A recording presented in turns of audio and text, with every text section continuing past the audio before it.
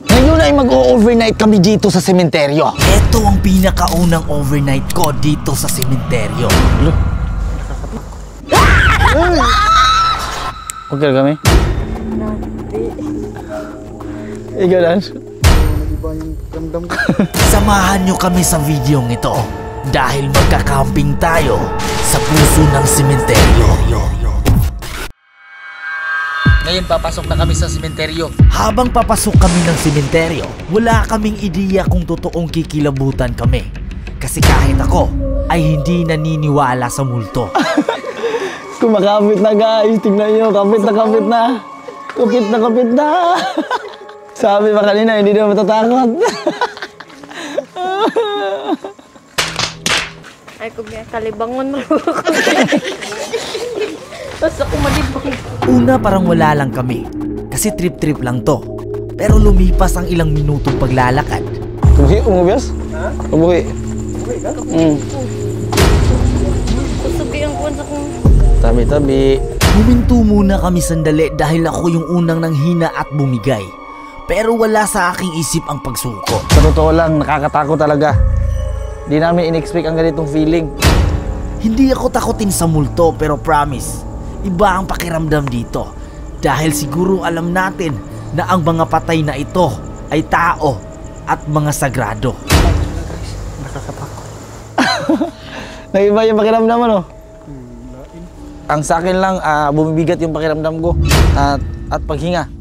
Ito yung simbahan ng minteryo. At ang sabi ng mga tao, mas nakakatakot raw ang simbahan kesa sa sementeryo. Dahil dito umuuwi lahat ng kaluluwa. E paano to? Simbahan to sa sementeryo. Nagpatuloy kami sa aming pag-imbestiga. At ang aming target ay ang lugar kung saan magtatagpo lahat ng mga nawawala. Kabuhi, Diyo. Okay, gabi? Mm, okay na, panurog ko.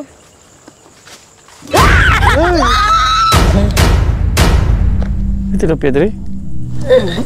At biglang nasusuka si? Barbie. Duh, uy, uy.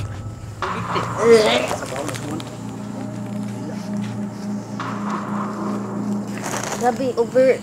Grabe ka. Ang akong feeling kan grabe. Ako kay nga overwhelmed kay ko. Masabot. Di lalim. Grabe na ikaw raw sa... Nandito kami ngayon sa pinakamalaking cross kung saan yung mga hindi na nahanap ng libingan ay dito na lang sila magsisindi ng kandila.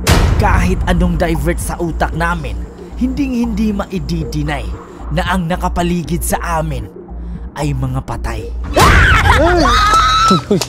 sa puntong ito ay naghahanap na kami ng pwedeng matutulugan nang biglang sa may uh, so din pansyon, pahigaan ni dyan eh. At eto, umulan na. Kailangan na namin gumawa ng tent. At eto yung pinaka the best na nakita naming area. Kung sino man ang may-ari nito, papasilong sana kayo. habang minamaneho namin yung tent, may kakaibang boses kaming naririnig. Parang may naririnig ako. Akala ko nung una sila lang yon naglolo ko. Hmm. Naag yun. Baki, baki, bro na. Lagi tingin, what? Pero isa pa lang itong palaka na lumalabas tuwing umuulan. So ngayon, dahil umuulan, wala kaming ibang magagawa kundi matulog na lang. Umaga na pero wala kaming nakikitang multo. At ito lang ang masasabi ko.